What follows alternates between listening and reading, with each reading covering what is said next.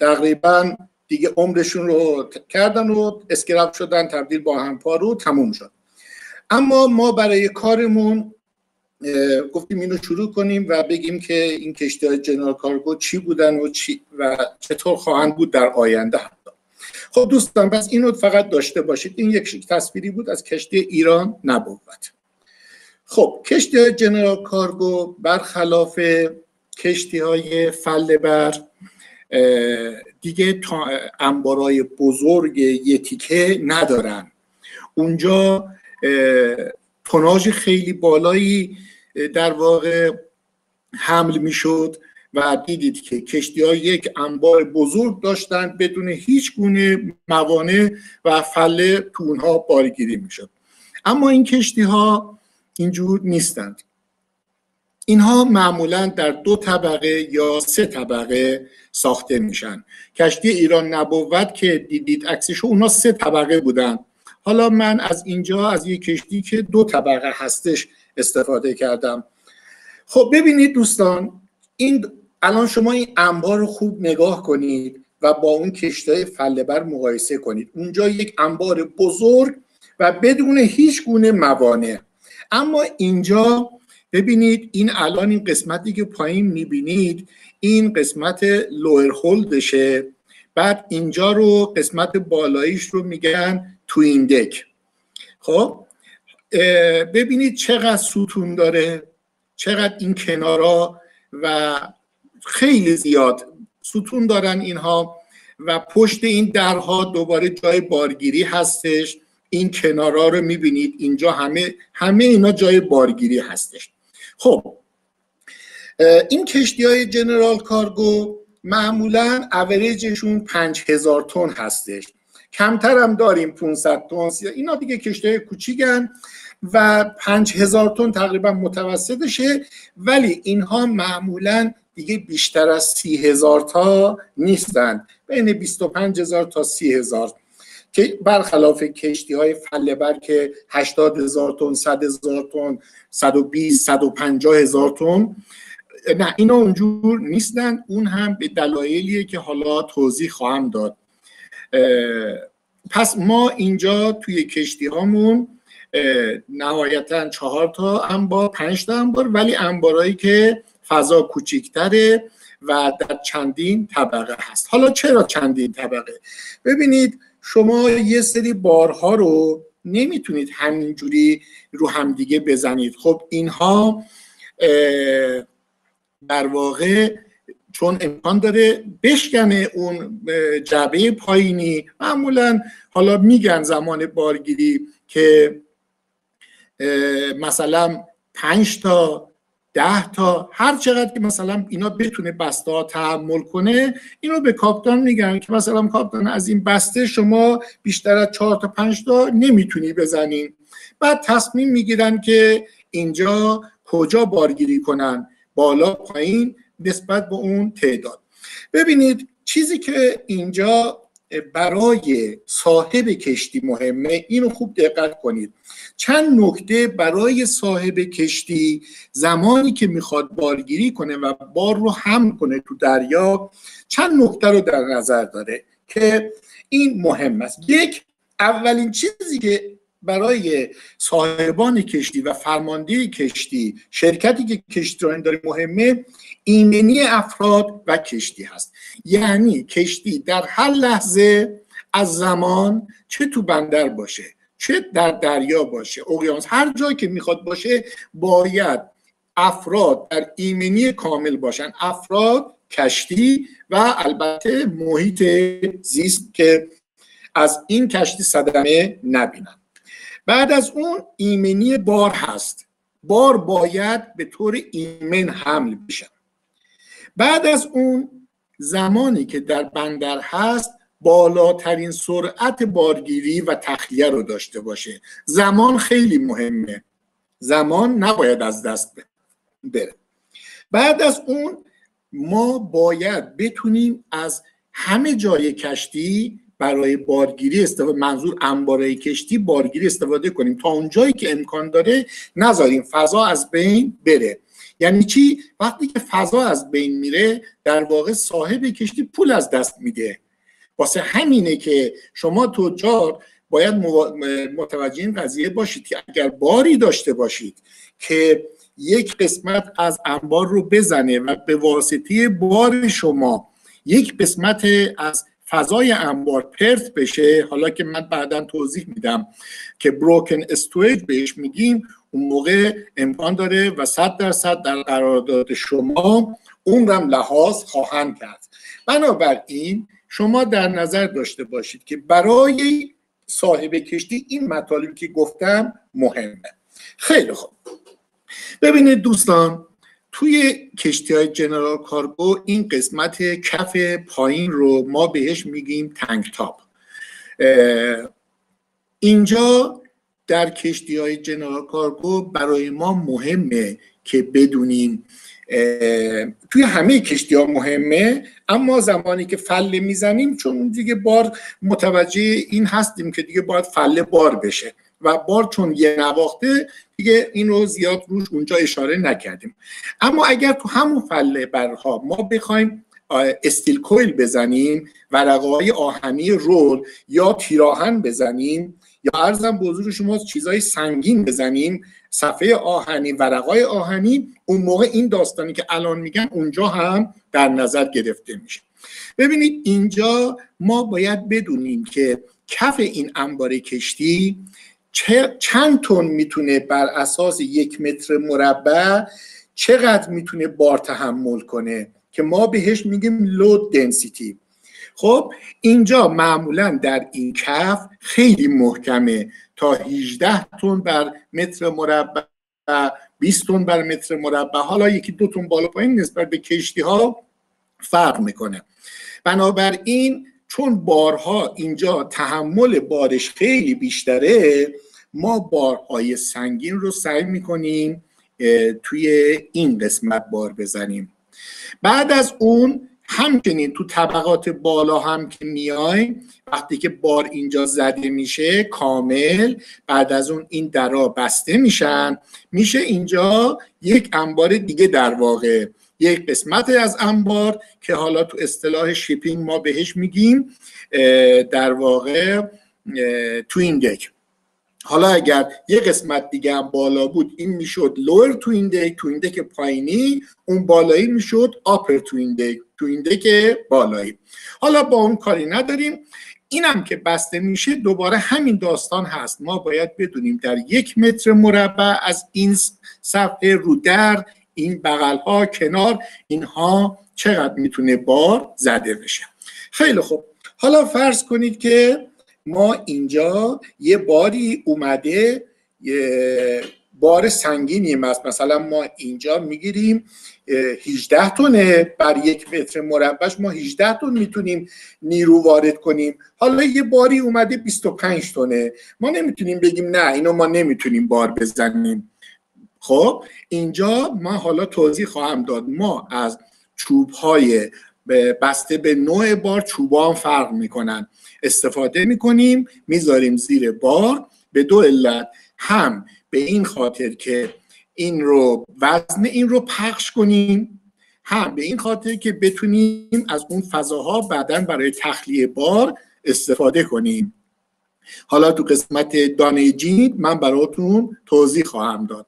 بنابراین اینم در نظر داشته باشید که اینجا تمام بارها بر اساس لود دنسیتی هستش که زده میشه. خب حالا کشتی رسیده بندر از قبل یک سری پکینگ برای کاپتان فرستادن که کاپتان این بارهایی که شما می‌خواهید بزنید این بارها از کاپتان اون بارها رو مشاهده کرده دیده توش آهن هست نمی‌دونم کیسه هست بشکه هست ارزم به حضور شما پاکت هست جعبه هست همه چی هست. ببینید هزاران نوع بار میشه توی این زد. هر باری که فکرشو بکنید ماشین ارزم به حضور شما میریم الان دوباره اینجا قسمت بازم نزدیکتر نشون دادم بهتون. ببینید اینا همون طبقات هست. که کامل بار زده خواهد شد. اما اینجا هم نگاه کنید. همینجوری که بار زده میشه میاد بالا موانع زیاد هست. می‌بینید؟ سقف داره موانع زیاد هست. شما نمی‌تونی بالاخره بار رو به خاطر موانع تا اونجایی که جا داره می‌زنی. بله صد درصد اینجا به خاطر شکل انبار به خاطر شکل بار. خیلی جاها ما فضا از دست خواهیم داد. مثلا امکان داره یه جعبه اینجا بزنید یه جعبه بالاش بزنید. دیگه جعبه سومی نباشه بالاش بزنید. مگر اینکه برای اون بندر یه بار دیگه ای باشه که بتونی اونجا جا بدی باید حتما این کار انجام بشه. خب برای اینکه ما بتونیم از این فضا بهتر استفاده کنیم در بنادری که یه ذره به قول معروف کارشون پیشرفته تره و صاحب کشتی می‌خواد که فضا رو از دست نده. معمولا یه پورت کپتنی هستش که این بارها رو با توجه به سایز کشتی که داره چه کار می‌کنه؟ قبلا توی این انبارا میچینه اندازه رو همه رو داره. کارش اینه که این بارها رو طوری میچینه روی این کشتی و اون پلندرش رو برای کاپتان میفرسته. میگه کاپتان ما این بارهایی که برای شما هست اینه توی این کشتی هم اینجوری چیدیم. ببین آیا اینها درسته؟ چون بالاخره شاید چیزهایی باشه که اون ندیده باشه. ولی کاپتان که تو کشتی هست آشنا به کشتی و شاید برای کشتی حالا مثلا مشکلی هم پیش اومده اون اطلاع نداشته باشه. بنابراین چیکار می‌کنه؟ از کاپتان اوکی می‌خواد. تا زمانی که کاپتان اوکی نده ارزم به حضور شما این بار زده نخواهد شد. خب بنابراین ما بر اساس اینکه یا پورت کپتن برای ما اون پلن بارگیری رو آماده کرده و یا اینکه نه میگن کاپتان این بارهایی که هست خودت بشین پلن رو آماده کن. اونجا کاپتان با افسر مربوطش میشینن سلام مشورت می‌کنن و اون کارگو پلن یا نقشه بارگیری رو آماده می‌کنن. خیلی خوب. ارزم به حضور شما ما اینجا بنابراین رسیدیم بندر حالا یا پورت کپتن نقشه بار رو آماده کرده یا خودمون از قبل آماده کرد دوستان قبل از اینکه بریم توی صفحات بعد حالا من بازم شکلهای بعدی هست.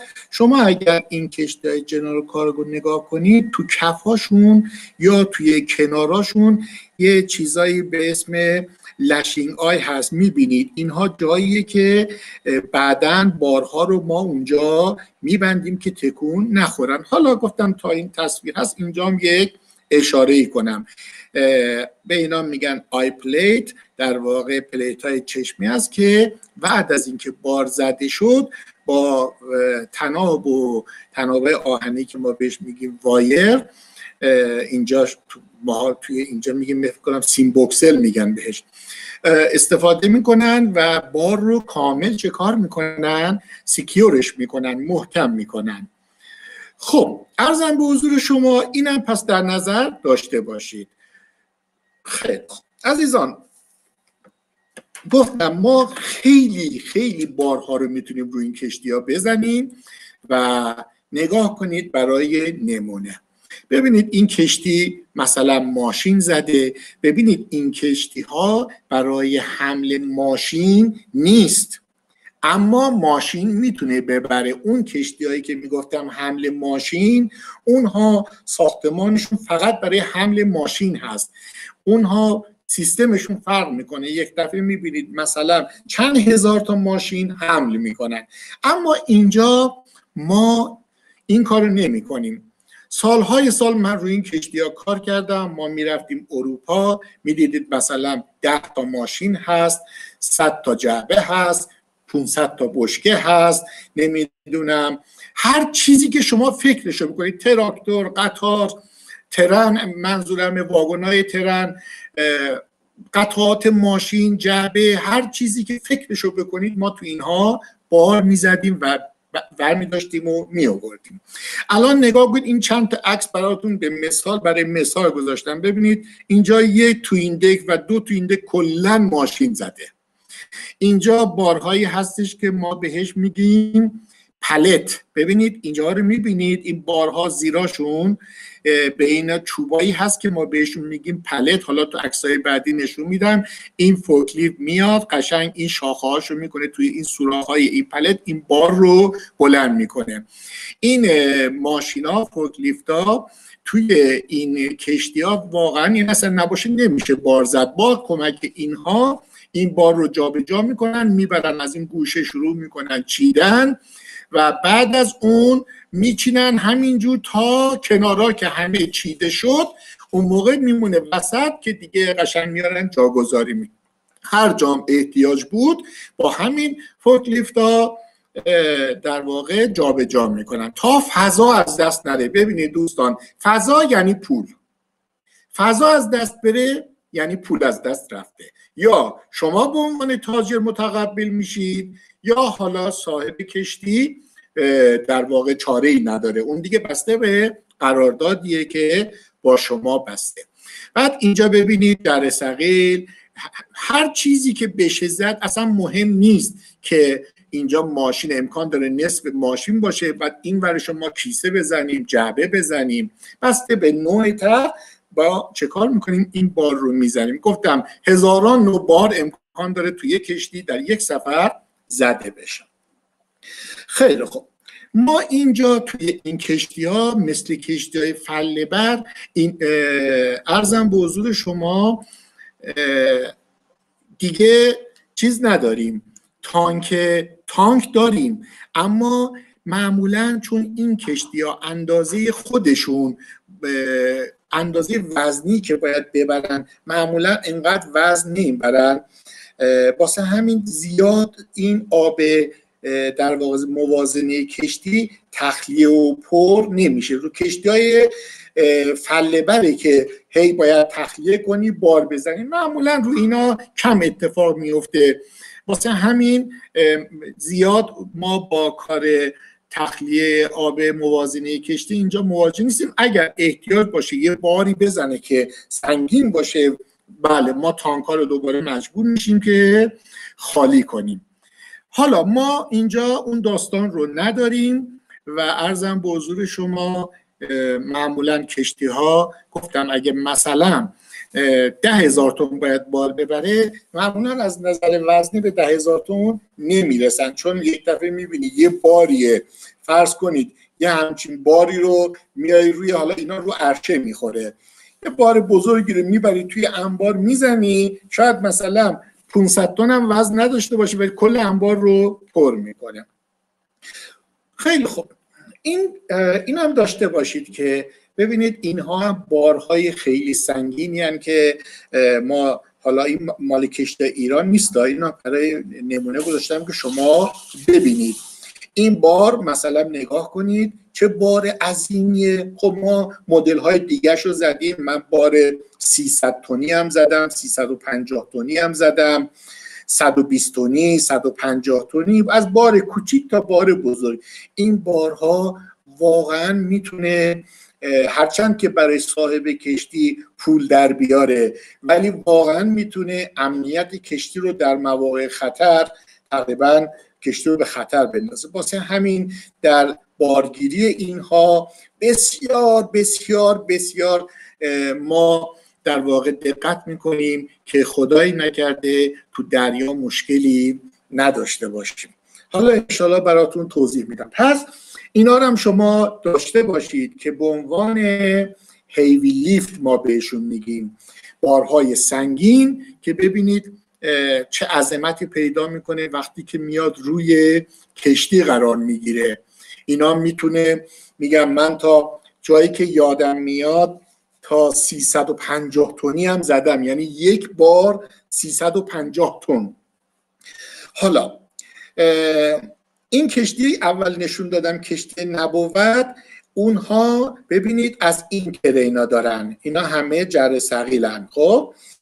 حالا چیزی که زیاده اینه که مثلا این کشتی مثلا جر سقیلش فرض کن اینجا می نویسه مثلا اینجا الان نوشته داره اگر حالا ببینید مثلا انشالله یه روزی کشتی رو از نزدیک می مثلا نوشته چهل تن. خب این به تنهایی فرض کنید چهل تن. حالا وزن بلند می‌کنه. اینجا دو تا جر از هم دور هستن.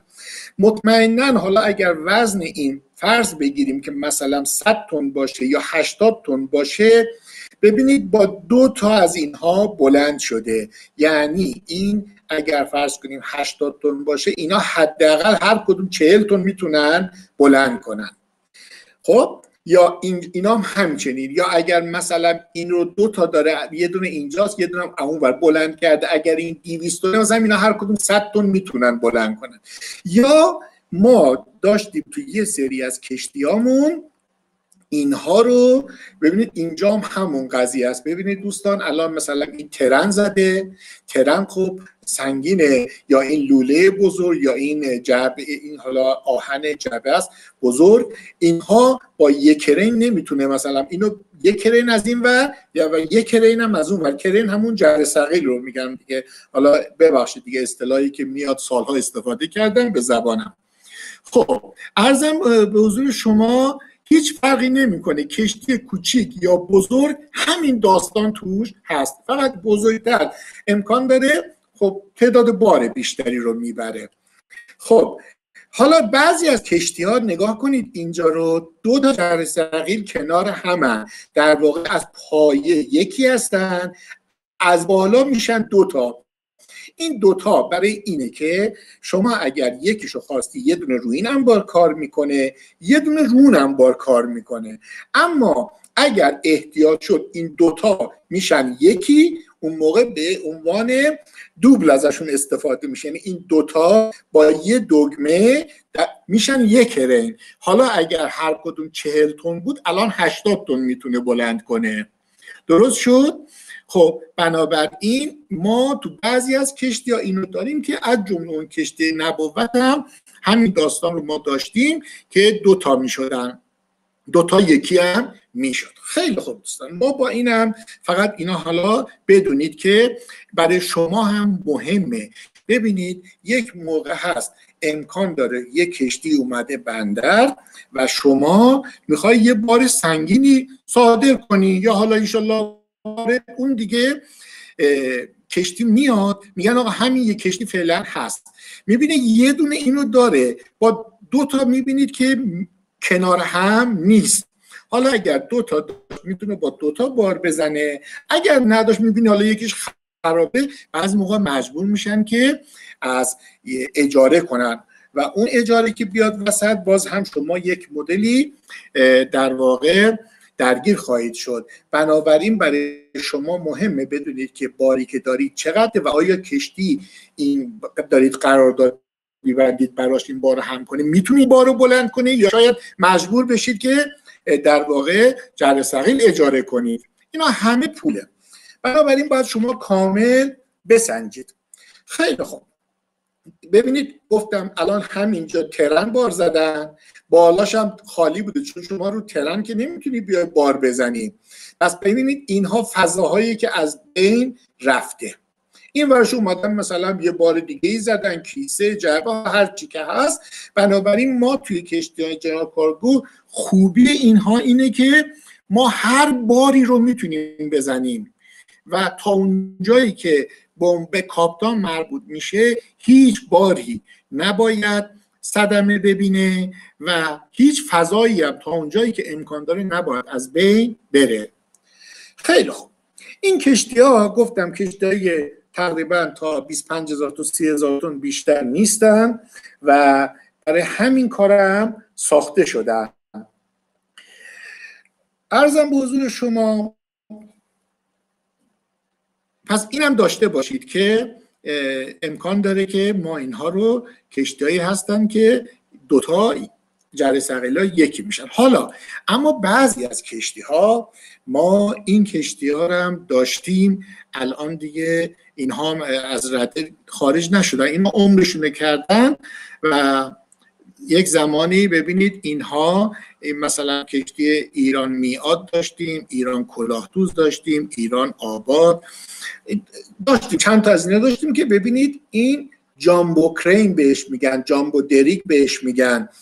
ببینید اینجا اینها تا 350 تن هم ما با اینها بار بلند می‌کردیم. ببینید چقدر عظیم هستش خیلی آروم کار می‌کنن. مثل این ببینید اینجا اینا از همون کرین معمولی هستش اینجا یه دونه اینجا یه دونه اینجا. این اما این فرق می‌کنه. این حرکت کردن و کار کردن با اینها چون برای بارهای خیلی سنگین هستش. ارزم به حضور شما که خیلی آروم کار می‌کنن و بی نهایت باید احتیاط کرد که کوچکترین احتی... بی احتیاطی یک دفعه دیدید که این پاره میشه و این در واقع میاد پایین و صدمه خیلی سنگینی به خودش بار به کشتی و این اتفاق افتاده. واسه همین هستش که زمانی که با این کار می‌کنن با این جامبو دریک جامبو کرین بی انداز احتیاط می‌کنن. چون اولا بار بار خیلی سنگینیه و یه سری تمهیدات حتما باید از قبل گرفته بشه و زمانی هم که بارگیری میشه مرحله به مرحله تعادل کشتی باید حفظ بشه. افسران با تجربه روی این کار هستن تا بتونه این بارگیری و یا تخلیه انجام بشه. وگرنه کوچکترین اشتباه در واقع صدمه های بسیار زیادی می‌زنه. خب ببینید پس این شد جامبو. حالا هر جا شنیدید جامبو داره در واقع اینکه می‌تونه این کشتی بار بسیاری رو حمل کنه. خب ببینید اینا همه وایرای تنابای آهنی بسیار سنگین هستش که این می‌کشه به این ور این میره سمت راست بکشه این اینو جمع کنیم میره سمت چپ و بالا پایین میشه میاد تو اسکله. وقتی که میاد بار رو بلند می‌کنه کشتی میخوابه به یه طرف. دوباره و آروم آروم میاد و در ارزم بزرگ شما کشتی آروم برمیگرده. تا قبل از این حتما اینجا با موازنه آب موازنه تعادل کشتی همه چی باید از قبل چی بشه؟ آماده باشه و مرحله به مرحله این یک موقع می‌بینید یه باری رو میخوایی بزنی چندین ساعت طول می‌کشه. چندین ساعت. بنابراین شما زمانی که با این جامبو کار می‌کنی بسیار با احتیاط. کاپتان حتما اونجاست افسر مربوط اونجاست و خیلی از افراد دخیل هستند که بتونن این بار رو بزنن. ولی ولی اینجایی که می‌بینید این کشتی مثلا این همون جرس معمولیه معمولا تا سی تون چهل تون جا به جا می‌کنن و ارزم به حضور شما این بار زده میشه. حالا توضیحات زیاده. میگم اون دفعه هم گفتم خیلی میشه ماها صحبت کرد راجبش. ما فقط برای آشنایی اینا رو من خدمتتون میگم که بدونید این عملیات چطور هست و انشالله در جاهای دیگه اگر احتیاج بود با دیتیل بیشتری با جزئیات بیشتری براتون توضیح خواهیم داد. خب ببینید دوستان اونجا گفتم که بار می‌خواد که زده بشه ما درست تو بندر همه چی آرومه دریا آرومه ولی کشتی می‌خواد بره توی دریا. ما توی دریا همیشه دریای خراب داریم. ببینید برای مثال ارز می‌کنم شما اگر تابستون از سمت بندر عباس شروع کنید برید سمت اروپا تابستون دریا توی همین عربیانسی یعنی به محض اینکه دریای عمان تموم میشه شما وارد اقیانوس هند میشید اون قسمت بالاش رو بهش میگن عربیانسی دریای عرب. اونجا دریا خرابه واقعا خرابه. تا زمانی که شما این مسیر رو طی کنید برسید به تنگه بابل مندب این دریا سه چهار روزی خراب حالا بسته به سرعتی کشتی. وقتی میگم خرابه حالا نشونتون خواهم داد. یعنی این کشتی میخوابه به هر طرف می‌بینید 35 درجه 40 درجه میخوابه و بالا پایین میشه و تمام این بار در معرض خطر قرار می‌گیرن. حالا ما میایم برای اینکه این بار مثلا شیفت نشه جابجا جا نشه و گفتم اونجا براتون که هم بتونیم وزن بار رو پخش کنیم اگه بار خیلی سنگینه و یا اینکه بتونیم گفتم جلوی حرکتش رو بگیریم. خب حالا توضیح میدم براتون. ببینید به اینا میگن دانش وودن دانش. یا امکان داره مثل این فلت باشه اسکوئر باشه. اینو نگاه کنید به اینها میگن بامبو. این کشتی هایی که برنج می‌خوان بیارن چون برنج رطوبات هم زیاد داره کف اینجا انبار رو و معمولا کناراش رو بعضی از جاها بامبو با بامبو میپوشونن. اینها هم گفتم یه سری دانشی که لابلای انبارا زیر بار لابلای بارها و زیر بار گذاشته میشه. مدل های متفاوت داره اینم در واقع ورقای صاف و بزرگی هست. نازک مثلا بیشتر برای بشکه ها از اینا استفاده میشه. برای هر باری ما مناسب اون کار رو استفاده می‌کنیم. ببینید اینا همه هزینه است. حالا این هزینهش صد درصد در نهایت با تاجر خواهد بود. حالا یا در درون یه قراردادی یا اینکه بالاخره صحبتی راجبش صد درصد میشه. اگر شما باری دارید که با کشتی حمل بار عمومی داره کالای عمومی داره حمل یعنی شما صد درصد هزینه اینها رو هم خواهید داد. اینها و چیزهایی که حالا در آینده بهش اشاره می‌کنم. معمولا معمولا دوستان این هزینه ها رو از شماها به عنوان در واقع مهار کالا و چی میگیم در فارسی بهش؟ ما اینجا میگیم که باری که می‌خواد حمل بشه باید کامل سیکیور بشه یعنی کامل بسته بشه. و این در واقع تکون نخوره تو دریای خراب. وگرنه صد درصد صد درصد این بار صدمه خواهد دید. خب اگه بار صدمه ببینه در واقع حملش هم بیمعنیه. شما می‌بری بار اونجا اون بار از شما تحویل نمی‌گیرن. یا اگه تحویل بگیرن مطمئنا خسارت دیده است و اون موقع بحث خسارت و اینها به وجود میاد. خب پس اینم فعلا در نظر داشته باشید که ما واقعا زیاد یعنی اگه اینا نباشه اصلا نمیشه چیزی بار زد تو کشتی های حمله کالای عمومی. بنابراین اینها هم شما به عنوان دانیج در نظر بگیرید وودن دانش حالا اگر بارهای خیلی سنگین باشن هیوی لیفتا اینا هم ابعادشون بزرگتر میشه و چون باید تو بار سنگینی می‌خواد روشون بیاد بنابراین اونا هم ابعادشون خیلی بزرگتر میشه. پس اینم فعلا اینجا در نظر داشت که شما هزینه خیلی زیادی رو باید پرداخت کنید برای این و برای لشینگ کردن. حالا لشینگ هم به خدمتتون عرض خواهم کرد. خیلی خوب دوستان. اینم داشته باشید. فعلا بریم سراغ خب. ما یکی دیگه از کارهایی که این دانیجا انجام میدن چوکینگ بین بارها هست. چوکینگ یعنی چی؟ ببینید شما این بار رو مثلا ببینید زده شده خب؟ خب این بار این, این در واقع بالش مانندار رو شما فعلا در نظر نگیرید. این بار اگر همینجوری الان این توی, توی یه کانتینر هست هیچ فرقی نمی‌کنه توی انبار باشه. همینجور این زده شده. خب این فضا خالیه. این فضا خالیه. اینجا خالیه. خب اگر این پر نشه اینجا چه کار باید کرد؟ خب اگه دریا بره دریا خراب باشه کشتی یه بار دو بار به بغل بخوابه تمام اینها از بین خواهند رفت. خب بنابراین ما یا با استفاده از اون چوب هایی که اونجا دیدیم تمام این فضاها باید چی بشه؟ مهار بشه. یعنی اگر اینجا خالی نباید بشه اگه خالی بشه اون موقع صد درصد این بار صدمه خواهد دید. بنابراین ما با استفاده از اون چوب ها یکی دیگه از کارهایی که مهمه همینه فضاهای خالی مونده رو که ما دیگه نمی‌تونیم استفاده کنیم.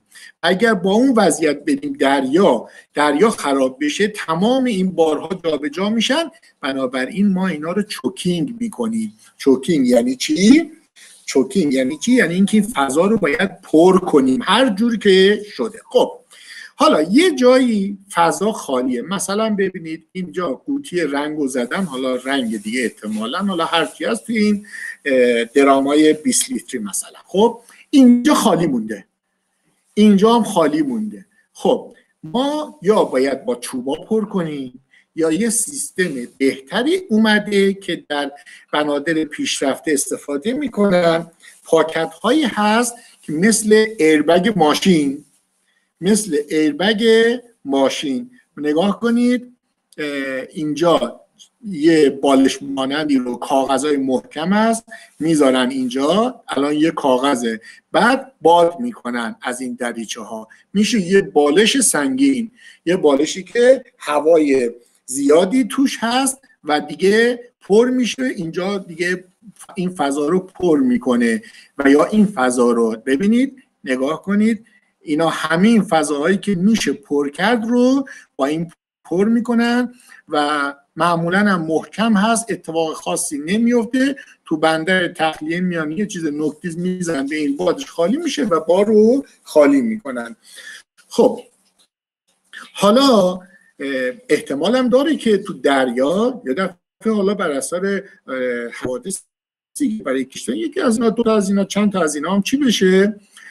پاره بشه و این فضا خالی بشه. اونجا در چکینگ روزانه افسرهایی که مسئول این کار هستند نگاه می‌کنن. اگر اتفاق افتاده بود این فضا باید کاملا زود دوباره مهار بشه. حالا یا دوباره با از این بالش های استفاده میشه یا چوب. بالاخره این فضا نباید خالی بمونه. خب پس این هم شما به عنوان در واقع فضایی که بروکن استویچ هست. ببینید اینجا فرض کنید بارگیری شده. این فضاها خالی مونده. حالا توی کشتی مخصوصا خیلی مهمه. دوستان بروکن استویج یا فضای پرت معمولا یا به خاطر ابعاد بار یا شکل و ابعاد انبار و یا اشتباهاتی که توی بارچینی میشه این فضاها پرت میشه. به وجودم میاد خیلی هم به وجود میاد. معمولا تو کشتی حمله کالای عمومی که اون هم توی قراردادها باید تکلیفش معلوم بشه که معمولا معلوم هستش. خب ببینید اینجا بارگیری کرده این فضا پرت شده این فضا اینجا پرت شده. ارزم به حضور شما اینجا همه پرت شده.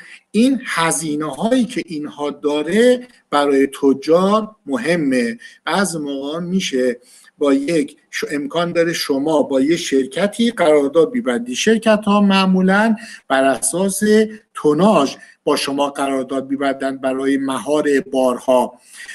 شما باید بدونید که بار شما که زده میشه چقدر احتیاج داره که مهار بندی بشه. بعض موقع ها امکان داره عدم اطلاع شما هزینه های سنگین رو دوش شما بذاره که شاید اگر یک نفر بتونه به شما مشاوره بده یا اطلاع خودتون داشته باشید اون موقع می‌تونید این هزینه ها رو خیلی کاهش بدید. بنابراین اینجا هم در واقع مهمه که شما یه اطلاعاتی داشته باشید که بار شما در واقع چقدر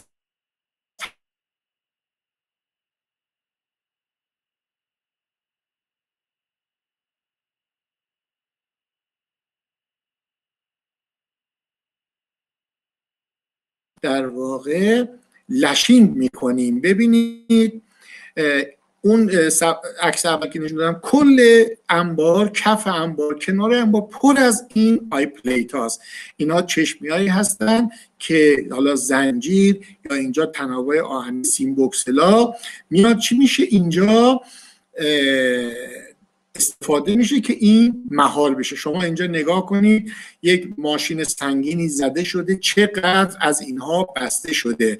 حالا اگر این ماشین مثلا پنجاه تن وزن داشته باشه معمولا سه چهار برابر این ما سعی می‌کنیم استفاده کنیم که به هیچ عنوان اجازه نده که این بار حرکت کنه. ببینید این بار روی کشتی بالای در انبارا یا کنار انبارا خواهد بود. توی انبار نیستن بارهای بزرگ.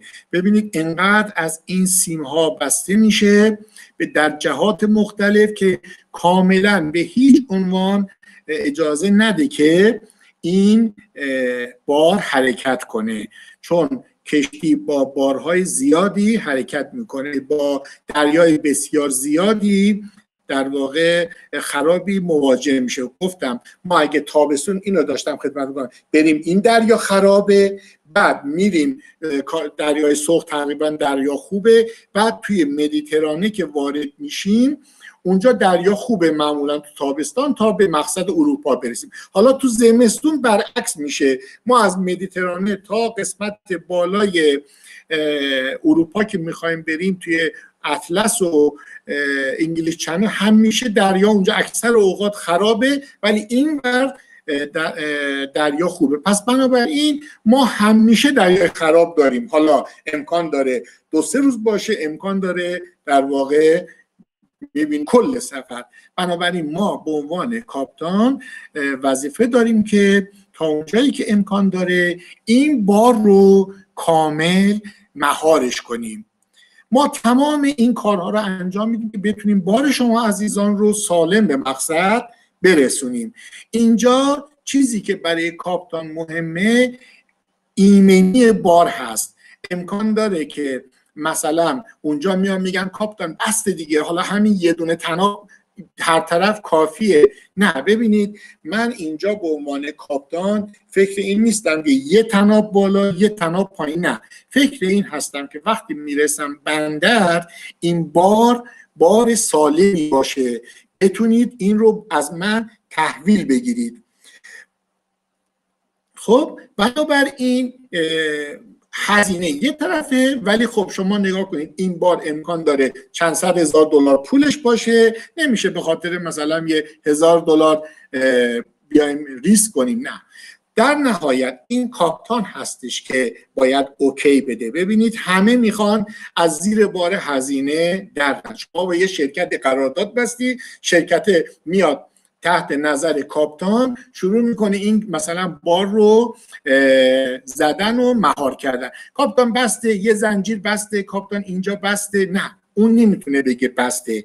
این کاپتان هستش که باید تصمیم بگیره که کجا و چقدر استفاده بشه. چون این کاپتان هستش که کشتی رو باید از این دریا از نقطه آ ببره به نقطه ب. بنابراین اینجا به هیچ عنوان بحث فقط ایمنی رو ما در نظر می‌گیریم. خب حالا این بار زده شده ببینید حالا یا کانتینر یا البته اینم بگم این کشتی ها کانتینر هم می‌برن. کشتی های حمل کالای عمومی برای کانتینر هم می‌تونن ببرن. بارها گفتم شده مثلا ما میریم پنجاه تا هم کانتینر می‌زنن ببین کانتینر بر نیستن مثل اون کشتی های کانتینر بر که میاد مثلا دو هزار تا شیش هزار تا دوازده هزار تا کانتینر میاد نه اینها ساخته شدن برای اینکه همه نوع بار رو بتونن حمل کنن. حتی در مواقع ضروری بار نباشه فله میشه تو این در اون تا دردسرش خیلی زیادتر میشه. خیلی خوب. بنابراین اینا رو هم در نظر بگیرید. اینها آی هایی هستش که رو کشتی کل کشتی جوش خورده. همه جای کشتی هست که اینا بارها بسته بشن و مهار بشن. خب حالا اگر یه باری هست ما این رو میخواییم بار بزنیم. آی کم باشه آی میاریم بازم جوش میدیم. هر چقدر که احتیاج باشه میاریم رو کشتی جوش میدیم تا زمانی که خیالمون راحت بشه که این بار در واقع چی شده؟ مهار شده. اینها همون آیا هست که جوش داده شده. مثلا اینجا نشون میده که به نظر میاد بار مثلا دیدن کمه این دوتا. دوتا دیگه هم اینجا اووردن جوش دادن. خیلی خوب. پس ما بحث مهار کردن ما بهش میگیم چوکینگ and لشینگ چوکینگ اون فضاهای اضافه رو با چوب و اربگا پر می‌کنیم که حرکت هاشون گرفته بشه و لشینگ هم بستن این بارها به کنارها و به روی کف اونجایی که بارگیری شده. نگاه کنید کامل عکسا نشون میده. و مطمئنا چندین برابر در واقع وزن خود این اینها استفاده میشه که بتونه جلوی حرکت اینها رو بگیره. خب دوستانم میایم اینجا. ببینید اون چیزی که من صحبت می‌کردم اینجا قشنگتر می‌تونید ببینید. ببینید اون چوبات چه فایده ای داره. شما تصور رو بکنید که این لوله ها اینجا بارگیری شده. این چوبا نباشه زیرشون. چجوری می‌خواین شما اینا رو تخلیه کنید؟ اصلا امکان نداره بشه دیگه اینا رو تخلیه کرد. بنابراین این چوبا رو می‌ذارن اینجا لابلای بارها. مثلا تو این مورد اینجوریه. بعد زمان بارگیری می‌کنن زمان تخلیه میان یه تنابی رو قشنگ از اینجا میارن از زیر اینا رد می‌کنن از اون ور سرش هم همینجور. بعد راحت با جر سقیم دو تا تناب بلند می‌کنن این بار رو بلند می‌کنن.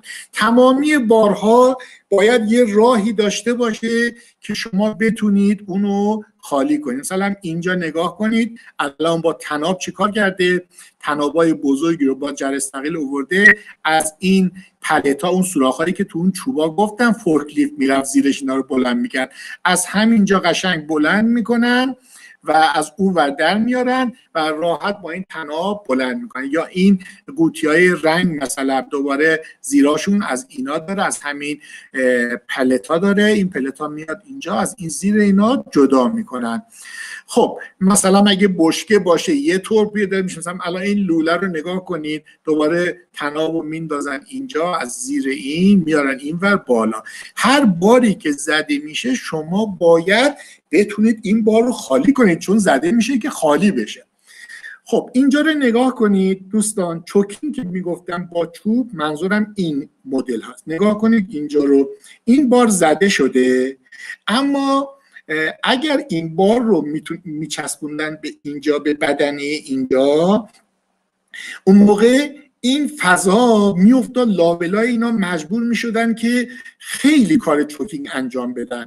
این کار عاقلانش همین بوده که اینجا رو صاف گذاشتن. این فضا فضای پرته. این فضا همون بروکن استوریج هست در رابطه با این بار. ببینید اینجا کنارا شیب داره ولی بار که شیب نداره. بار تقریبا یه مکعب مستطیل حالا یا مکعب صاف هستش.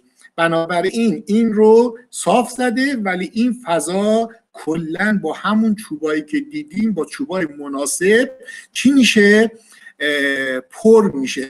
انقدر محکم که نجارهای بسیار ماهر با عد برقی و میخ و, و تمامی لوازم محکمی که احتیاج دارن اینجا رو در فاصله چند ساعت کامل مهار می‌کنن.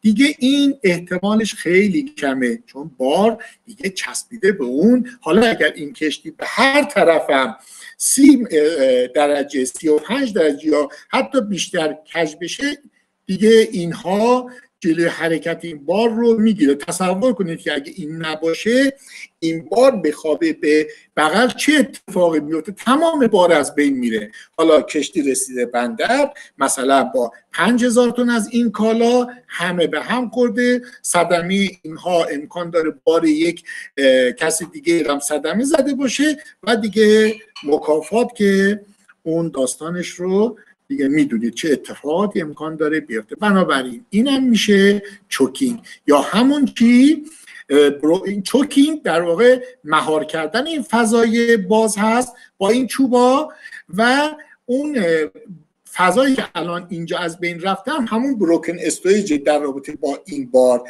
ببینید این فضا کلا از بین رفته چون هیچ کاریش نمی‌تونیم بکنیم. به خاطر چی بوده؟ به خاطر شکل انبار اینجا ابعاد انبار و ابعادی که بار داشته به هم نمیخوردن و کار درستش این بوده که این اینجا خالی بمونه و مهار بشه. حالا همینجا مگه شما نگاه کنید ببینید چندین مدل بار زده شده توی یه دونه انبار.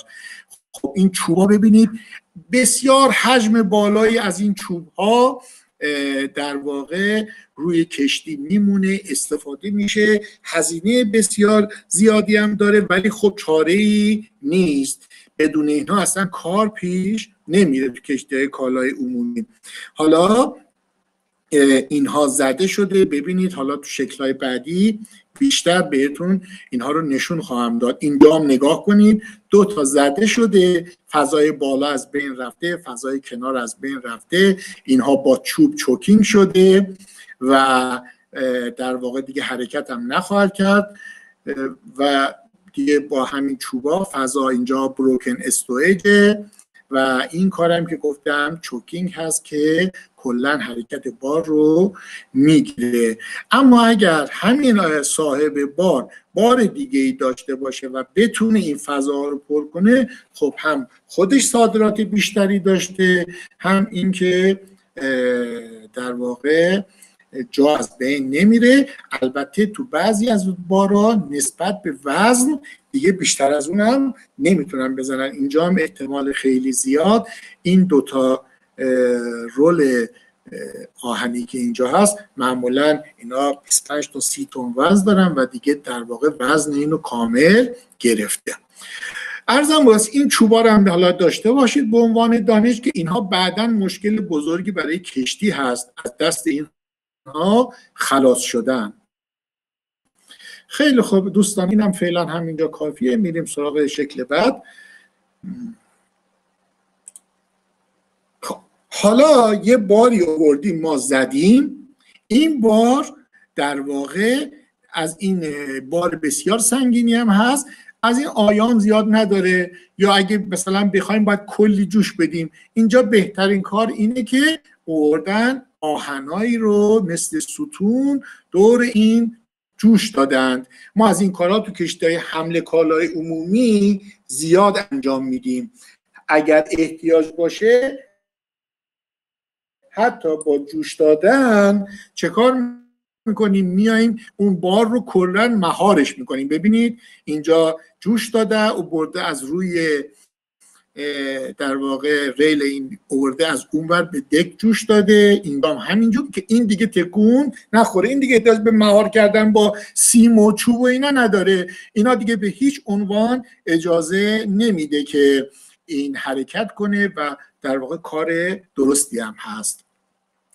خب حالا این هم در واقع شکل که ما از این وسایل ما برای لشینگ استفاده می‌کنیم. گفتم هر جا که احتیاج باشه و کاپتان کشتی به عنوان مسئول کسی که این بار رو تحویل می‌گیره و بار رو تحویل می‌گیره و باید سالم تحویل بده اینجا مجبوره که هر کاری که میاد و تجربهش بهش میگه انجام بده تا این بار رو سالم از شما تحویل بگیره و تحویل بده.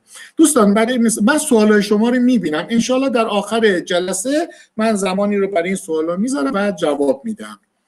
خیلی خوب.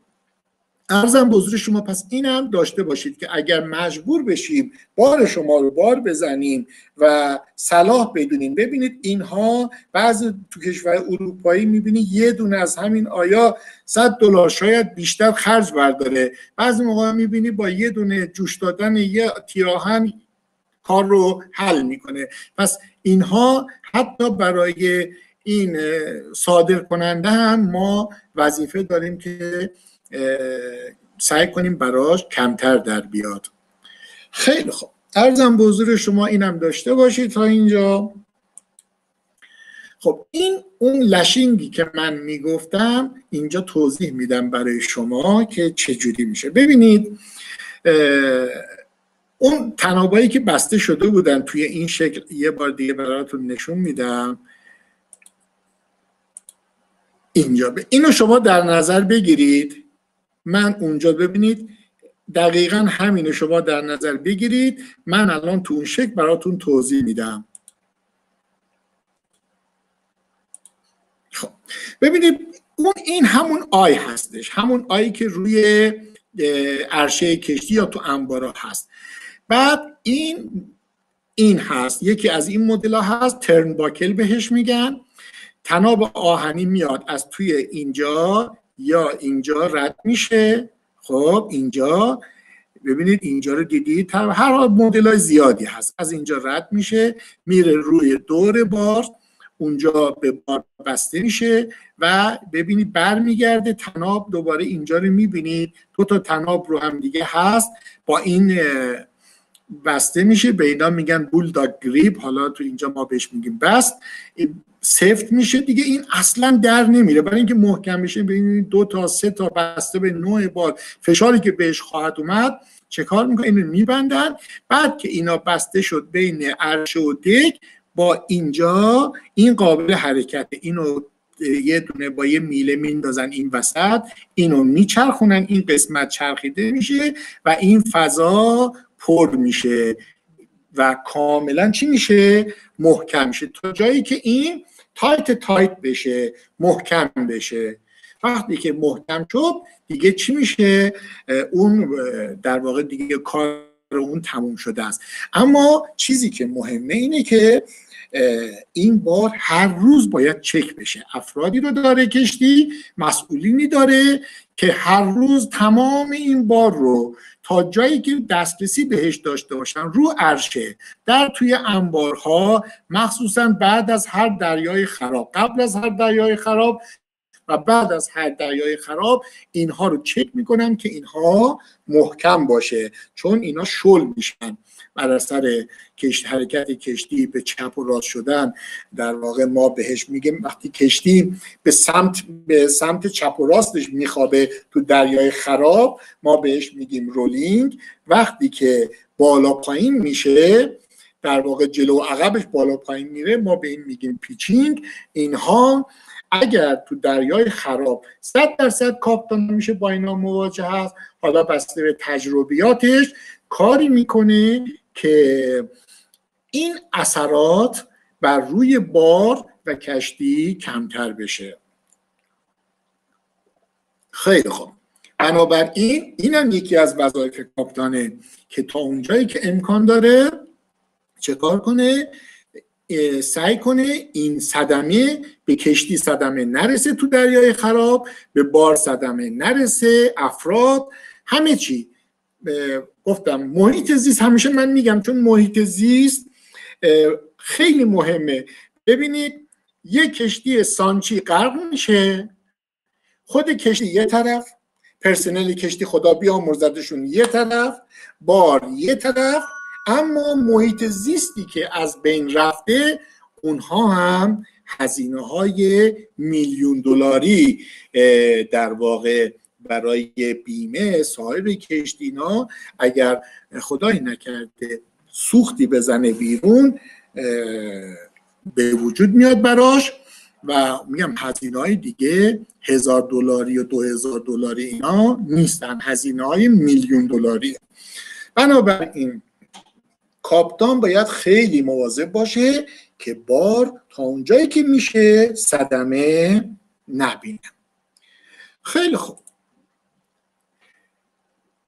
اینجا من بروکن استویج رو دوباره براتون توی یه بار دیگه نه. ببینید اینها همون رولای آهنی هستن. میگم معمولا اینا بسته به سایزشون از ده تن شروع میشن ده تن دارن. حالا کوچیک و بزرگ دیگه 25 تن هم دارن. حالا معمولا اون باری که میدن به کشتی سعی می‌کنن تو این رنجا باشه.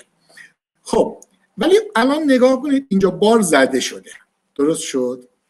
این فضا دیگه از بین رفته. حالا یا بار نداشته بودن تو این تصویر نشون نمیده که بالاش چقدر خالی. احتمالا دیگه جان نشده یا بار دیگه نبوده. این فضا رو ببینید. از بین رفته. این فضا از بین رفته. اینا همه پرتی کاره.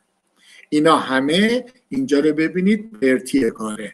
شما الان این لولا رو اینجا تو این شکل توضیح بدم. ببینید اینجا این فضای سفیدی که مونده اینا همه پرتی کاره. اینا زده شدن ولی اینا چی؟ از بین رفته. هیچ کاریش هم نمیشه کرد. اینها در کشتی های حمله کالای عمومی از این فضاها زیاد هست و به اینا میگن broken storage یا پرت در واقع همین بارچینی هستش. خیلی خوب. و همونجور که گفتم بسته به شکل انبار شکل بار و اینکه امکان داره بارچینی که داره اون کار می‌کنه ماهر نبوده در واقع خوب بار نزده. ولی اینا همیشه به وجود میاد. خیلی خوب حالا اینجا من سوال می‌بینم دوستان میگن بیمه. بله ببینید هر باری که رو کشتی میره مثل ماشین های خودمونه دیگه. اگر بیمه نکنیم صد درصد احتمال داره صدمه ببینه و خب درد سر میشه دیگه. بنابراین تا اونجایی که من اطلاع دارم همه اینها بیمه میشن. حالا امکان داره بیمه به خرید پولی می‌گیره. ولی در واقع ما از آینده ما به قول انگلیسی میگن آنسین فیوچر ما از آینده نامعلوم که خبر نداریم که. ما نمی‌دونیم. ما بهره بحث الان کشتی بالگیری می‌کنه سعی می‌کنه کاپتان کشتی همه تجربه خودش رو تجربه خودش رو به کار ببره که بار رو سالم تحویل بگیره و بار رو سالم تحویل بده. حالا اینکه تو وسط دریا چه اتفاقی میفته اونها چیزهاییه که در واقع ما نمی‌تونیم برای مثال ارز می‌کنم من یه خاطره براتون بگم. من یادمه که ما یه باری رو از عربستان برای هلند زدیم. لوله های بسیار بزرگی بودن دوازده متری و به قطر تقریبا اگر اشتباه نکنم دو متر یا سه متر رولای حجیم که یک کشتی با اون عظمت کل باری که ما تونستیم ببریم نزدیک 2500 تن بود. کشتی در واقع بار سنگین نبود بار حجیم بود. خب ما این همه جای کشتی رو زدیم مون یه دونه از اون قسمت های بالا آپرتویندک و یه دونه لوله اضافه اومد. نتونستیم اینو بین لوله های دیگه جا بزنیم. مجبور شدیم اون لوله رو اووردیم مثلا به یه سمت انبار گذاشتیم و بستیمش. باور کنید چندین برابر وزن اون ما از توش سیم رد کردیم و بدنه بستیم به سقف بستیم به دک بستیم چون یه دونه بود و این می‌تونست خطرساز بشه. ما تو راه رفتن به اروپا توی یه جایی هست خلیج بیسکای به بیسکی. اونجا زمستونا تقریبا دریا همیشه خرابه. اینجوری به شما بگم که زمانی که دریا اونجا خراب نیست شما به فاصله تقریبا 18 ساعت 20 ساعت از اونجا رد میشی. ولی اگه دریا خراب باشه من خودم یک هفته توش گیر کردم. یعنی یک هفته تا تونستیم ما از اون محلکه بیایم بیرون. بنابراین شما از دریا خبر الان که خب خیلی پیشرفته شده. ما یه زمانی می‌رفتیم واقعا اطلاعات کم بود. اما الان من کاپتان وقتی تو کشتی هستم از چندین طریق حتی بدونیم که به بیرون اشاره کنم از خود دستگاه کشتی ما هوا رو می‌گیریم همه چی رو اندازه می‌گیریم دست از طریق ماهوارا هوا برامون میاد و می‌تونیم تشخیص بدیم که دریا کی و کجا خرابه. خب حالا یک کاپتان تصمیم می‌گیره که آقا این کشتی که داره تو راه میره وارد این دریایی که می‌دونه خرابه تصمیم می‌گیره آیا این خرابی این دریا انقدر هستش که بشه از توش رد شد یا نه امکان داره کل کشتی خطر جانی همه چی رو از بین ببره. بنابراین شاید من کاپتان بارها و بارها این کار کردم که تصمیم گرفتم و رفتم یه جایی آروم کردم یا سرعتم رو کشتی آروم آروم بره تا زمانی که اون دریای خراب اونجا تقریبا شدتش کم شده باشه یا تموم شده باشه که زمانی که من می‌رسم اونجا دیگه دریا اینقدر خراب نباشه که زمان منو بگیره. ببینید من اونجا می‌خوام برم یه هفته گیر کنم فرض کنید. اما الان اینقدر اطلاعات بالاست که میشه تا اونجایی که سعی کرد. ببینید همیشه استثناء وجود داره. میشه سعی کرد که به اون دریای خراب ببینید اینجور نیستش که بازم اشتباه نشه فردا برید کشتی بگید نه آقا ما می‌دونیم که میشه. نه. این که من میگم شدتش رو دارم صحبت می‌کنم. دریای خراب همیشه هست. اگر بخوای اونجوری حساب کنیم ما باری که تو بندر عباس دیگه نباید تکون بخوریم میگیم نه آقا از اینجا اینجا دریا خرابه اون برم اینجا. نه. ما دریای خراب میریم. منظور من شدت های بسیار بالای اون هست که حالا تو تصاویر انشالله خواهید دید.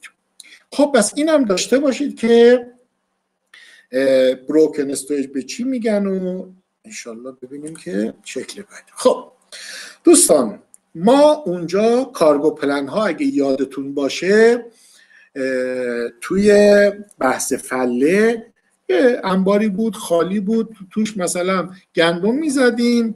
ما هر انباری مثلا 9000 تن 10000 تن گندم داره. یه دونه پلن آماده می‌کردیم. پلن های بسیار ساده. آه اون لوله رو پرسیدن حالا خوب شد بگم. بله اون لوله توی اون دریا خراب شد و من دیدم لوله بود بسیار حجیم از این وره از سمت چپ این. میره می‌خوره سمت راست دوباره توی بعدی چند ثانیه بعد میاد می‌خوره و ما دیدیم مثلا کشتی داره خراب میشه. من فهمیدم که اون لوله پاره شده. بنابراین دیگه سریع دست به کار شدیم. تمام این جهت باد و اینا رو انداختیم پشت کشتی و من تونستم جهت کشتی رو تو دریای خراب که بسیار کار سختیه درست کنم افراد رو فرستادیم. دوباره چندین چندین ساعت طول کشید که ما تونستیم اون رو دوباره ببندیم و خدا اون شب به ما واقعا رحم کرد. بله این رو می‌خوام بگم که کلا خطر دورور این کار کشتی همیشه داره چیکار می‌کنه؟ دور می‌زنه. خیلی باید دقت کنیم واقعا دوستان من که به شما میگم سی سال تو دریا به عنوان افسر کار کردم. پنج شش سالم به عنوان دانشجو کار کردم و تجربه من به من میگه که این شغل واقعا خطر همیشه دورورش هست. خیلی باید احتیاط کرد. ایمنی ایمنی ایمنی. کوچکترین کوچکترین هر کسی که می‌خواد تو کشتی کار کنه. کوچکترین قفلت با مرگش روبروه. ببینید مثال ارز می‌کنم. اگر قراره که فرض کنید از نقطه آ بره رو نقطه ب این باید از اون جایی که علامت داره رو کشتی حرکت کنه. بگه حالا من از این پشت در انبارا میرم دیگه. باور کنید من دیدم کسی که بین در انبارا یک لحظه در انبار زمانی که می‌خواسته رد شه مثلا چی بگم؟ یه دقیقه زودتر برسه. حالا یه انباری قفلت کردن خوب باز نگردن. همون موقع اومده و اینو له کرده گذاشته کنار. بنابراین حالا من نمی‌خوام بحثای اون چیز بشم اون دیگه بحث خودی کشتیه. ولی در نهایت به شما خواهم گفت شما بعضی موقع به عنوان صاحب کالا مجبور هستید برید رو کشتیتون. دوستان این کشتی کالای عمومی خیلی خیلی خطرناک هستند. شما باید تا زمانی که افسر مربوطه به شما اجازه نده به هیچ عنوان وارد اون محوطه بارگیری نشید که هر لحظه امکان داره خطر جانی برای شما اتفاق بیفته. امکان داره تناب جرثقیل پاره بشه امکان داره آهنی بیفته امکان خیلی چیزا من نمی‌خوام اینجا انرژی منفی بدم. واسه همین هستش که چه افراد رو کشتی باید مواظب ایمنی خودشون باشن. افراد غریبه ای هم که می‌خوام بیان روی کشتی که باید بیان بیشتر اوقات چاره باید بیان ببینم بارشون چی شد کارشون چی شد.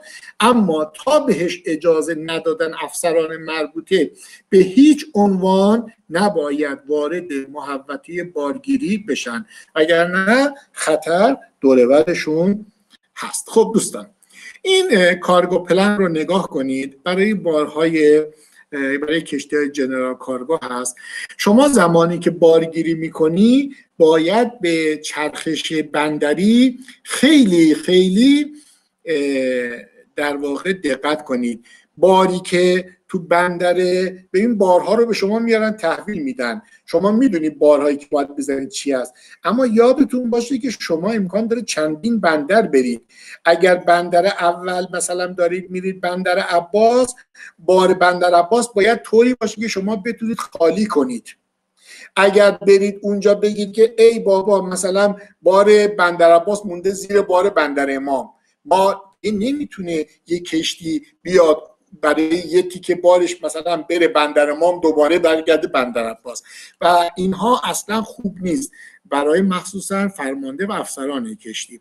بنابراین تمام تمهیدات باید در واقع چک بشه و بار اولین بندر رو باشه. بعد از اون بار دومین بندر بار سومین بندر. به هیچ عنوان نباید باری به خاطر اشتباه در بارگیری بار هر بندری مثلا بمونه. ببینید الان مثلا اینجا نگاه کنید بندر مثلا هامبورگ به لیماسول هامبورگ به لیم... اینا بارهایی از این زردها باره هستن که اول خالی خواهند شد. بنابراین اینجا هم ببینید برای اینکه اشتباه نشه بار همه بندرها رنگ بندی میشه. اگر مثلا می‌بینید اینجا این هست و اینجا یه رنگ دیگه مطمئنا راهی اونجا هستش که این بار کلا تخلیه بشه و این بار بمونه برای بندر بعدی. بنابراین با کارگو پلن تمام بارهای بارگیری شده رو ببینید اینجا مثلا یه بار اینجا یه بار اینجا جدا شده. اینم یه بار دیگه است. نوع بار. مال همین بندره. ببینید سبزه. اما نوع بار فرق می‌کنه. درست شد؟ بنا ببین اینجا وقتی شما اینجا رو نگاه کنی این یه باره این یه باره این دوتا بار یه انباره یه رنگ شده. اما نوع بارا فرق فرق می‌کنه. درست شد؟ بنابراین با رنگ بندی مناسب سعی می‌کنن جای بار رو توی انبار مشخص کنن. درست شد؟ اینم پس کارگو پلان تمامی اینها مرحله به مرحله چک میشه. اگر اون صاحب کشتیرانی در اون بندر port captain داشته باشه. ما زمانی که می‌رفتیم سمت اروپا چون اونجا بار زیاد بود معمولا یه کاپتان با تجربه ای رو اونجا میذاشتن و اونجا این بار در واقع نقشه بار رو آماده می‌کرد. برای کاپتان میفرستن رو کشتی. کاپتان با اطلاعات update ی که خودش داره چک می‌کنه. اگر کاپتان okay بده که اون میشه نقشه بارچینی. نه بعض موقع کاپتان به خاطر یه عواملی مثلا میگه نه این بار ما نمی‌تونیم اینجا بزنیم. به این علت اون موقع این بار یا جابجا جا میشه یا حالا دیگه کنسل میشه میدن به یک کشتی دیگه ای در صورت در نهایت زمانی که کشتی می‌رسه به بندر این بارچینی باید نقشش آماده شده باشه و در واقع ارزم به حضور شما که نقشه زده بشه. طبق نقشه. پس این هم کارگو پلن. خب ببینید اینجا بار صدمه دیده. این دریای خرابی هست. ببینید دوستان زمان کلاس من در واقع می‌خوام سریع استفاده می‌کنم. تمام مطالب رو میگم که شما اطلاع داشته باشید. وگرنه هر کدوم از این جلسه ها راجع به یک جلسه کامل میشه فقط راجع به این شکل توضیح داد. حالا من دارم فهرستوار رد میشم به شما اطلاعات میدم و انشالله هر جای دیگه تو مبحث های بعدیمون احتیاج بود. من خیلی دوست دارم که این تجربه رو در اختیار شما بذارم. ببینید کشتی به بغل 35 درجه خوابیده یعنی مکافات. حساب کنید در هر لحظه این الان اینجا میخوابه از اون ور دوباره میاد میخوابه به اون ور. این ادامه پیدا می‌کنه. و کاپتان اینجا دیگه سعی می‌کنه این واقعا بعضی جاها نمیشه. ولی سعی می‌کنه تمام تجربه خودش رو اینجا به کار ببره تا این کمتر بشه این حرکت ها ببینید اینجا دریا بسیار خراب و اون پیچین که میگم اینه این جلوی کشتی موج میاد می‌بره بالا یه دفعه خالی میشه با اون عظمت وزن کشتی میاد پایین و این حجم آب در واقع جابجا میشه میاد روی انبار روی انبارا روی کشتی. بسیار این دوتا خطرناک است برای کشتی. نگاه کنید دوستان اینجا دوباره اون اتفاق افتاده به خاطر حالا لشینگی که کردن قوی نبوده یا نه دیگه کافی نبوده. ببینید در کانتینرها تو آب افتاده. دوستان من هیچ وقت یادم نمیره توی همچین دریای خرابی چند بار دیدم. مخصوصا کشتی کانتینری. باور کنید همینجور به فاصله چند کیلومتری از من من این کشتی رو می‌دیدم. فقط دعا می‌کردم که غرق نشه چون ما هیچ کاری اونجا از همون بر نمی اومد کانتینراش همه میریخت تو دریا و کانتینرها با سنگین اینا. وظیفه من اونجا اینه که از کشتی خودم از این کانتینرها دور کنم به خاطر اینکه هر کدوم از اینا بخوره به کشتی کشتی سوراخ می‌کنه و اون موقع خطر برای کشتی ما هم به وجود میاد. من با کانتینرها همینجور تو آب میریزن و یک دفعه خطرات خود کشتی حتی احتمال داره غرق هم بشه ولی خوشبختانه اون کشتی غرق نشد. نزدیک 400 500 تا از کانتینراش رو از دست داد و سالم موند. ولی خب و با اینکه یه کاپتان کشتی دیگه وظیفه داره کمک کنه اما اولین وظیفه کاپتان سالم نگه داشتن ایمن نگه داشتن کشتی خودشه خب فهرستوار رد میشم. دوستان من از این روزها زیاد دیدم. دوست ندارم. ولی خب بگم ولی واقعا هر کدومش یه مرگ و زندگیه. خیلی خب اینجا هم فعلا رد می‌کنیم. فقط گفتم بدونید که چه خطراتی هست. ببینید اینجا دوباره همون داستان ها رو نشون دادم بهتون دریای خراب. خب ببینید این چیزی که حالا در نظر شده حالا بار تخلیه شده کشتی مونده و با کلی ارزم به حضور شما چوب و تناب و وایه رو که اینها معمولا سعی می‌کنیم ما توی بنادر خالی کنیم چون با اینا نمی‌تونی وارد بندر بعدی بشی. حالا متاسفانه بعضی از بنادر تحویل نمی‌گیرن مجبور میشیم که یه جوری از شرشون بعدا خلاص بشیم. اما بنادری که نظم و نظام داشته باشن و درست کنترل بشن کاپتان همه اینا رو تا جایی که میشه تحویل بندر میده و چیکار می‌کنه؟ سعی می‌کنه کشتی رو از شر اینجور چوبا و اینا خلاص کنه اینا همه پول همه شاید بتونن اونایش که دست نخورده بونده سالمه میخواشو مثلا اون قسمتش می‌برن بقیهش جای دیگه استفاده می‌کنن یا در نهایت هستن اینایی که می‌برن اینها رو و برای کارهای دیگه نهایتش اینه که زغالشون می‌کنن. ولی خب اینا رو استفاده می‌کنن. حالا اگر یه بندری امکان نداشته باشه واقعا این یه مشکلی که کاپتان باش روبرو هستن که بالاخره باید یه جوری از شر اینا راحت بشین. یا که بار باید به بندر بعدی می‌رسه تمام جارو شده ترتمیز شده تحویل بندر بعدی که میره برای بارگیری آماده بشه. خب دوستان حرف زیاده. من واقعیت تونتون اینا رو میگم. تا یادم نرفته میگم خیلی از مطالب موند. من فقط اینم بگم که مبحث قبلی هم گفتم که ما کاپتان کشتی مخصوصا تو این کشتی ها هر بندری که می‌خواد بره note of protest میره. یادتون هست که note of protest چیز بود؟ تا بتونه در واقع خودش رو از اتفاقات و خطرات مبرا کنه. دوستان تو این کشتی ها من بار بهت بودم خیلی حوادث امکان داره واقعا وقتی میره رو این کشتی ها مواظب باشید جونتون در خطره. تا بهتون اجازه ندادن نرید. باری اگه صدمه ببینه اونم پروسه خودشو داره. روی این کشتی ها ارزم به حضور شما چون تمامی اینها پرت میشه روی عرشه تمامی این چیزهایی که برای چوکینگ و لشینگ استفاده میشه رنگ و از بین می‌بره اینا مدام پشت سر هم هی رنگ میشن هی دوباره سفر بعد همینجور. نگهداری این کشتی هم کار سختیه کار مداوم می‌خواد. ارزم به حضور شما دیگه می‌خوام یه چند دقیقه وقت بذارم برای سوالات شما دوستان. میگم حرف خیلی زیاده. من می‌تونم ماها راجع به این صحبت کنم. کاریه که 35 سال انجام دادم و به قول معروف دیگه حالا فعلا تا همینجا کافیه تا ببینیم. انشالله در آینده. خب دوستان این سوال رو برای مفهوم پرت بارچینی بروکن استوید چیست؟ اینو لطف کنید دوستان. از این کلاسی که داشتیم جواب بدید ممنون میشیم.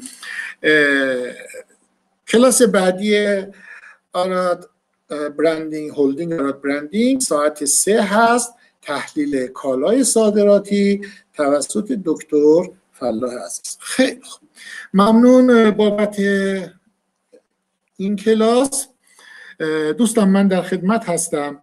خیلی خوب. سوالاتی که داشتید. دوستان من تمام این مطالب رو خدمتتون میگم تا به شما فقط یه شمه از این کار رو بگم. شما بعدا خواهید دید که چقدر اینها مفید خواهد بود براتون. برای جانتون برای مالتون برای هر چیزی که اگر تو کار صادرات و واردات هستید. بسیار مهمه. و شما استفاده خواهید کرد. خیلی خوب. خب سوال. فعلا که چیزی سوالای قبلی هم که تقریبا تو مطالب گفتیم.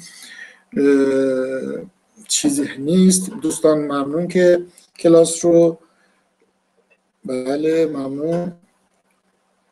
ببینید لوله های پلی اتیلین معمولا موندن. اینا معمولا لوله بزرگن منتها با حجم بیشتری تو همین کشتی ها زده میشن. تو همین کشتی های جنرال کارگو زده میشن.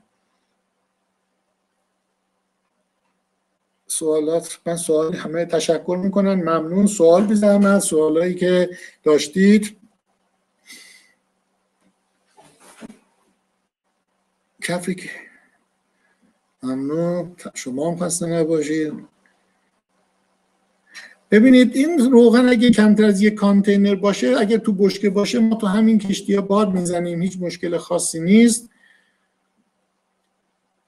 یا اگر توی کانتینر یکم باشه می‌تونید بزنید و با همون airbag ا اضافهش رو پر کنید که تکون نخوره. خب بادام اینا البته بگم همین کشتی کارگو یه سریاشون اون پایین توی lower یه قسمت های یخچالی هم دارن که بعضی هاشون البته که می‌تونن مثلا اگر مادی است که احتیاج به یخچال داره اونجا هم هم کنند راجع به اینکه چجوری بیاید تو این کار دانشجو هم انشاءالله تو کلاس های بعدی یه صحبتی خواهم کرد. هزینه مهار رو باید از اون قراردادی که میبندید سوال کنید. اونا معمولا کسایی با شرکتی که می‌خواد بارگیری برای شما انجام بده اونها این هزینه ها رو باهاتون در میارن و بهتون میگن. معمولا چک کنید این رو. بعضیشون خیلی زیاد میگن. ببینید گفتم لیمو خشک و اینا همه چی رو میشه با اینا حمل کرد خب؟ همه چی رو. حالا اگر احتیاج به یخچال داره توی قسمت یخچالی یا تو کانتینرهای یخچالی یا اگر که نه مشکلی نداره تو هر بندی مناسب تو این کشتی ها همه چی رو میشه هم کرد. دوستان همه چی هر چی که فکرشو بکنید.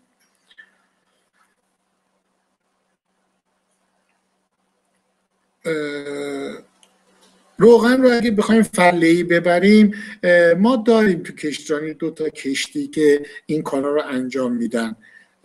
بله می‌تونید تماس بگیرید باشون. خب این هزینه ها این دلار اینو من انشالله میگم هزینه زیاده. ماشینات سنتی ماشینات صنعتی گفتم اینجا توضیح دادم نشونم دادم تو عکس. با این کشتی ها میشه هم کرد بدون هیچ مشکلی. لیمو خشک اینا والا من آنچنان حالا یادم نمیاد که هم کرده باشم. اونو دیگه باید سوال کنید ببینید قوانین صادرات چجوریه. بادام ها هم بسته بندی باشه به نظر میاد که بهتر باشه. فله ما بادون تا حالا نزدیم.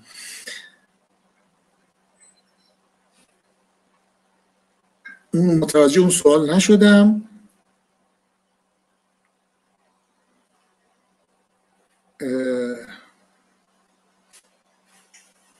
بله اگر هزینه ها رو ندونید و وارد بشید اونجا بله می‌بینید که مهمه. هزینه ها رو باید بدونید بررسی کنید سعی کنید از یک نفر که وارد هست مشاوره بگیرید که خدایی نکرده شما ضرر نکنید.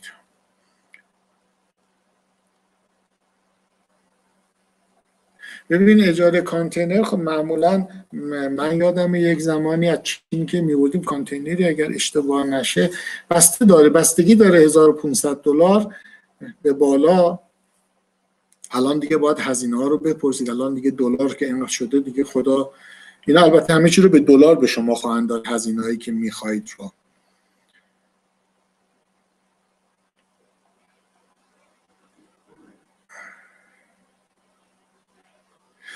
اینا همه میشه راجع به این هزینه هایی که الان گفتن راجع به اجاره زمانی کشتی معمولا وقتی که کشتی رو میدن با سوخت و پرسنل میدن دیگه راجع به هزینه های تعمیر و نگهداری ماشینات اینا معمولا با صاحب کشتی است اما در رابطه با بار 100 درصد باز چارترر هستش کسی که کشتی رو اجاره می‌کنه.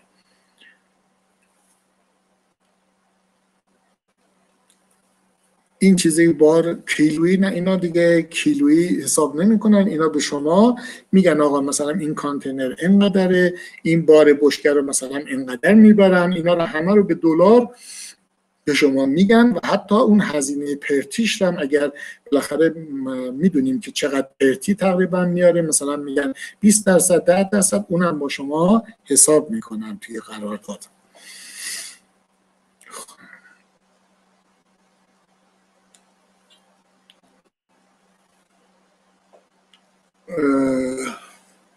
خیلی خوب. دوستان ممنون از اینکه وقتتون رو در اختیار ما گذاشتید.